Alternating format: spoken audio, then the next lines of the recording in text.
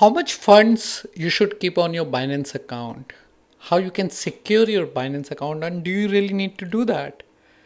Well, the short answer is yes. And how much fund you should keep? That's a very good question. And we'll look into all this question in this video where you'll be learning about how to secure your Binance account.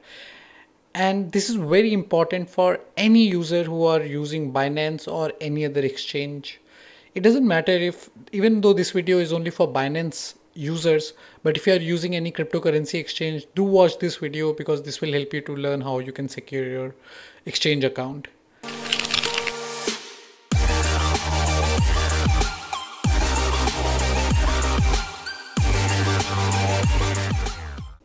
Hi everyone, I'm Harsh Agarwal. I'm the founder of coinsutra.com and I founded Coinsutra in 2016. Since last 5 years I've been helping you with my videos, with my content to level up your cryptocurrency knowledge. And today we are touching upon one of the very important topic that is your account security. And this is one of the most underlooked topic in the cryptocurrency world.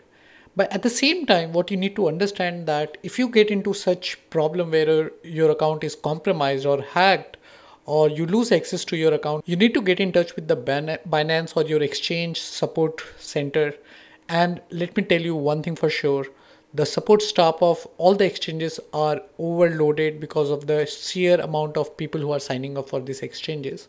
So there are high chances that it might take few days or weeks for you to get access to your account back. And you don't want to be somebody who's who's in that situation. So the best solution is that you follow all the tips suggested in this video which will help you to secure your binance account or you secure your exchange account so that you you can keep trading and investing freely. With that let's go ahead let's do this. All right so a background story. Few days back my binance account was hacked. And i woke up in the morning seeing an email from binance team that like hey we have seen some weird transaction in your account some weird trades on your account. Is was it you who have traded in the account? And they have frozen the trading activity and the withdrawal activity now, of course, it was not me, and uh, luckily I did not lose any fund, but my trading activity was was blocked for a few days, and I need to go back and forth with the Binance team to resume my account, and it was a tiring experience. And I don't want you to go through this kind of experience ever, and hence this video.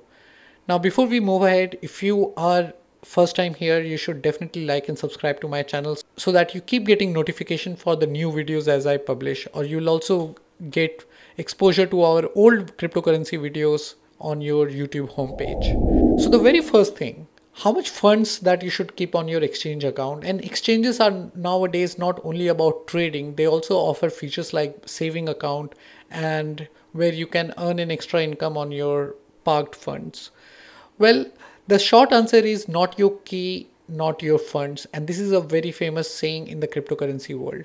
What that means is if you don't have access to the private key of your cryptocurrencies, you don't really hold the cryptocurrencies. Now, exchanges like Binance and Kraken or Coinbase are very, very much secured. But still, in the past, we have seen with some of the most secure exchanges like Mount, Mount Gox, and there there has been an exchange in Turkey where the where the CEO ran away with all the funds. So this can happen with any exchanges in the world, be it Binance, be it Coinbase, be it any other exchanges. The probability of this happening with exchanges like Binance or Coinbase is very low, but there are still risk associated with it. And more than that, you need to understand that these exchanges are not, apart from Coinbase is regulated, but exchanges like Binance and others are not regulated or not secured, the fund are not insured. So if you lose your fund, you lose your fund forever. So thumb rule, keep only those fund in your exchange account that you are going to trade. Rest move all the funds to your cold wallet, something like you should get a hardware wallet like Legend NOX and you should keep your funds there. Now coming back to the saving account feature. So most of the staking feature you can directly use using your Legend NOX. I know it's going to be a little lengthy process for many of you, but doing that if you're holding a coin for two years, three year term, using a hardware wallet would is much better than keeping it on your exchange account. Because if you lose it, you lose it all. but apart from that there are many things that you can do to secure your binance account and we'll be looking into that. So the second step is using a unique email address. So you might be having a generic email address that you are using for all your communication for all your registration but when it comes to cryptocurrency exchanges you should be using a unique email address which you are not sharing in public. Maybe you can sign up for G- new gmail account you can sign up for any other email services out there and then you can use that email address for your exchange account. But make sure that you are using all the security measures for your email account for example using a unique password and it's very important that you should start using a password manager. I personally prefer something like lastpass or dashlane but you can free to choose any password manager that you want. A password manager would ensure that you're using a unique password for every uh, website that you are signing up for and at the same time all the passwords are going to be remembered by the password manager so you don't have to remember everything which is another bonus point make sure that you're using two-factor authentication.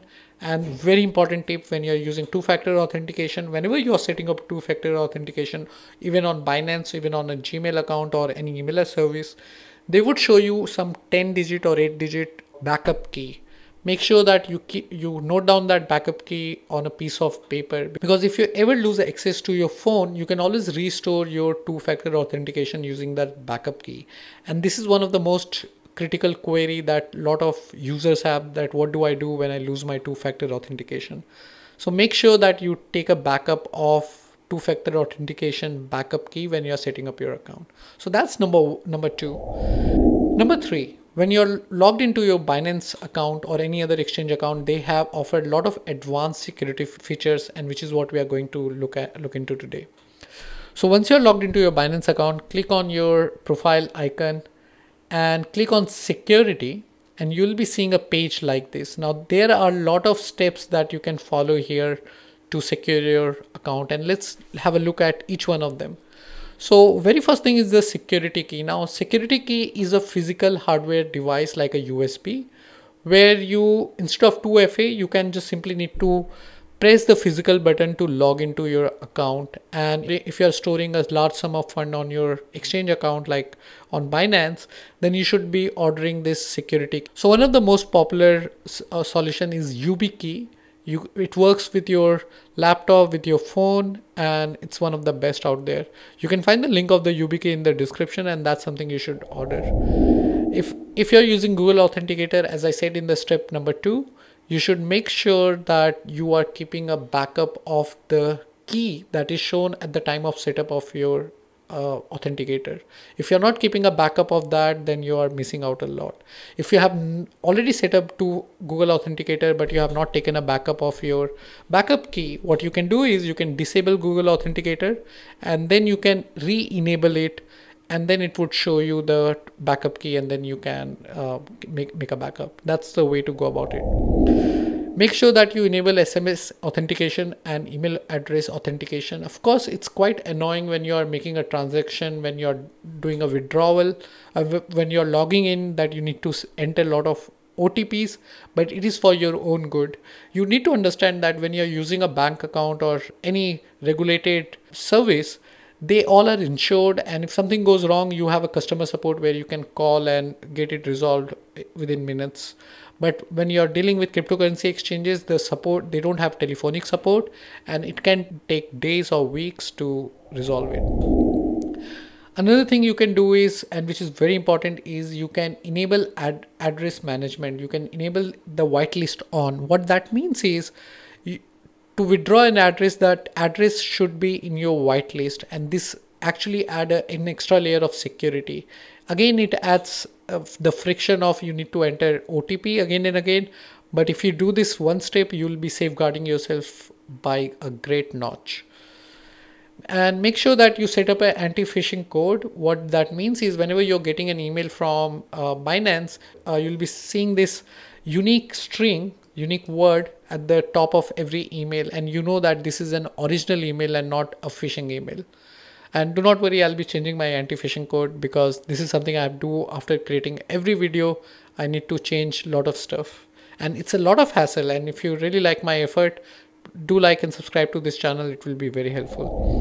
Now another thing you can do is you can click on device management. The device management would show you all the computer and all the mobile phone from which you have access your Binance account and if you see your old devices or any devices that you don't recognize you know you can just remove it from the device management page and make sure that you change your password if you see any unrecognized device Similarly, you can always update your login password once in a while, though it's not very necessary if you are using a unique password and you're using all the two-factor authentication. But as a security measures, you can always up update everything after every six months. The account activity would show you all the accounts from which you have logged in. So it would show you something like this, like from uh, when was the last login to your account and this would ensure that uh, you can always find out if you see any weird IP address logging into your account. So that these are some of the steps that you can take to secure your Binance account. But there is there are more stuff. One of them is API management. When you are creating your API, which you can always create by going to your profile and API management. When you're creating your API key, make sure that you disable the withdrawal feature by default it's always it's always disabled but make sure that it's always uh, withdraw uh, it's always disabled and very important that do not use any not trusted website with your API key because that's one way to surely lose access to your account. Always use the recognized services like 3 commas bituniverse some of the crypto tax software but do not use any new software randomly with your do not trust them with your api key because your api key give them access to your trading functions. And it's not like those people have malicious uh, intention but any hacker could get access to those software and hence they can use your account for pump and dump technique and you and the binance team will might freeze your account for these activities so these are some of the steps that you can take today to secure your account I've also published a detailed video on how to secure your Binance account. I would highly recommend you to go ahead and read this. It will help you to level up your knowledge. Now, with that guys, if you have any question, let me know in the comment section below. It's always good to keep leveling up your knowledge so that you, because, because we are in this territory where you are your own bank and if you're not securing yourself, or you're not securing your accounts, you are basically putting yourself into a risk. Now you'll find all the links in the description. You can go ahead and check out Legend NOx, YubiKey. You can also read this article, which will help you to level up your knowledge. With that, I will see you in the next video. Bye bye. This is Harsh.